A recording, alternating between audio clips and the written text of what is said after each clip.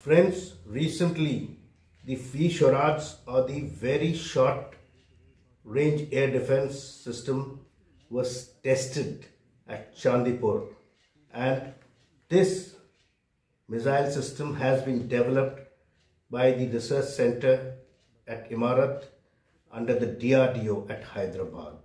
Many laboratories of the DRDO has worked together to create this system along with the industry.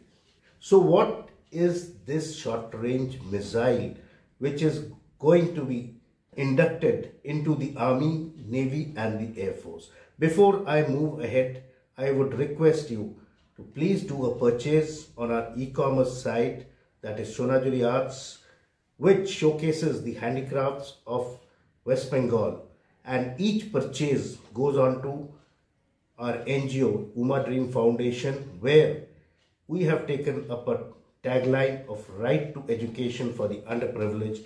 So I'll request you to either volunteer for our NGO or do a purchase to give a bright life to these poor artisans and their children.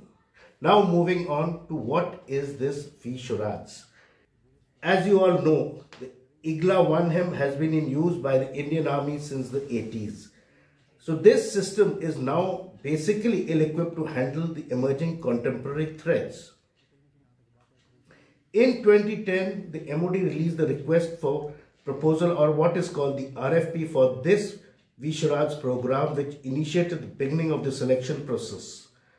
This was initially proposed in 2010 and the estimated value was 27,000 crores and it was listed amongst one of the higher priority programs by the Indian Armed Forces and several variants including ship-based pedestals, man-portable, vehicle-mounted versions were planned for acquisition. This program was initiated by the then Chief of Army Staff General V.K. Singh in a letter to the former Prime Minister Manmohan Singh in March 2012. The TEC or the Technical Evaluation Committee examined and proved the Rosoboronexport 9K338 IGLA S, the Saab RBS 70 NG, MBDA Mistral and the LIG Nex1 KP SAM Suran in Jan 12. While the Starstreak from Thales Air Defense had already been rejected for non-compliance at the paper evaluation stage. And slowly the complete process kept happening and despite many ups and downs, the procurement process was not finished till 2016. The MOD conducted reconfirmatory trials in 2016 as a result of vendor non-compliance and in 2017 the procurement process was stalled by non-compliance of two out of three vendors. And in 2018 the Army's effort to acquire a MANPADS or man-portable air defense system came to an end after receiving bids from Sweden's Saab RBSS 70NG and France's MBDA Mistral, Russia's 9K338 Igla S has been deemed as the lowest bidder or the L1 that is in the Indian defense language for $3 billion competitive tender. So a total of 5175 missiles and related equipment such as launchers, sensors, thermal imaging sights and command control units have been requested by the Indian Army under the VSHORADS program.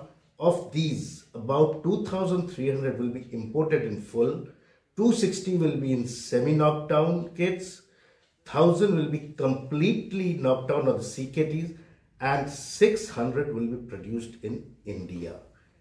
So, when all this fell out, the DRDO seized the opportunity and began developing its own very short-range air defense system, the VSHORADS, at RCI in Hyderabad, which is responsible for the design and development of this missile system and is being done in collaboration with the DRDO laboratories and many Indian business partners.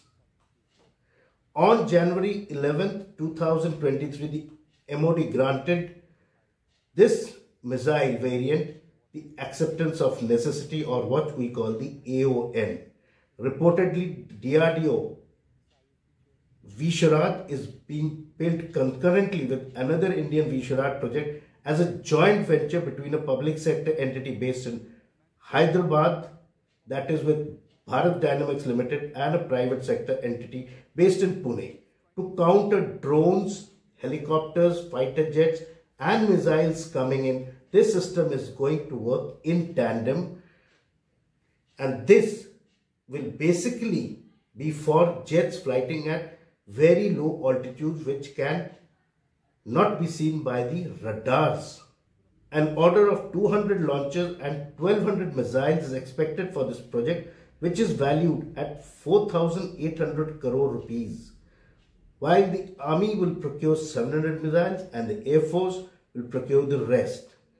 DRDO has developed a tripod based weapon system as of May 24 and the work is in progress to miniaturize the technology for use as a shoulder-launched variant. The Indian Army is expected to place an initial order for about 500 launchers and 3000 missiles for this project. On July 2024, the Minister of State for Defence Sanjay Seth notified the Parliament in writing that the defence of the shoulder-fired variant can make use of certain subsystems and technology from the VSHORADS program. The development of the miniaturized fourth generation man-portable air defense system VSHORADS was officially completed on 5th October 2024 after a series of development trials. As part of the development come production partner that is the DCPP program, DRDO has selected Adani Defense and Aerospace and Icomm Tele Limited for its partnership so how does this missile system work? It basically is propelled by dual thrust rocket motors and is made to take out the low flying targets to guarantee effortless mobility. The missile's design encompassing the launcher has undergone extensive optimization. The VSHORADS missile incorporates integrated avionics, miniaturized reaction control system that is the RCS to increase mid-air maneuverability. The missile uses a state-of-art uncooled infrared imaging seeker. By varying its thrust, the dual pulse solid propellant rocket motor of the VSHORADS preserves its maneuverability, boosting thrust when required. In order to improve its kill capabilities, the dual waveband infrared imaging seeker can identify its target and use target specified pursuit algorithms. Under complex countermeasure environments, the seeker can distinguish between targets and decoy with high precision. The reactive thrust vectoring mechanism and aerodynamics surfaces enable complicated and erratic maneuvers while in flight. So during the development, there have been various tests at various levels, which has finally culminated in the successful trial at Chandipur.